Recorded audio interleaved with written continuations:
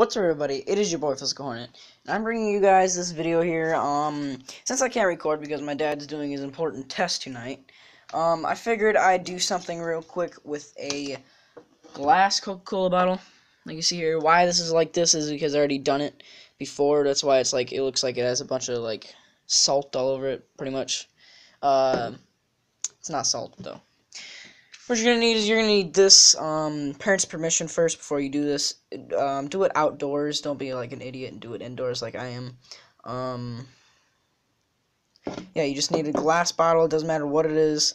I'm using a Coca-Cola bottle. You're gonna need matches. Any type of match will work. Um, I prefer the stick ones because you can stick it down in there better. And then you're going to need some Old Spice spray. Um, this is the one I use. Uh, oh, why is this my camera so blurry? Hang on, guys, here. Wow, I don't know why my camera's so blurry. It won't focus.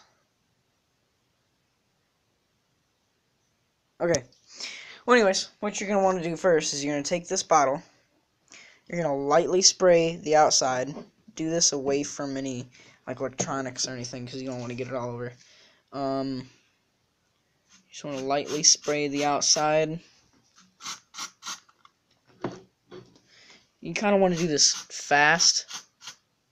You want to spray one, two, three on the inside, and then you want to light the match, like I did.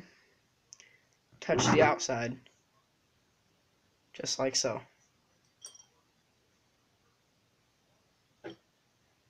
Perfect. Hope you guys enjoyed this. I'll see you guys in the next one. Peace out. Love you guys. And become a stinger today and subscribe.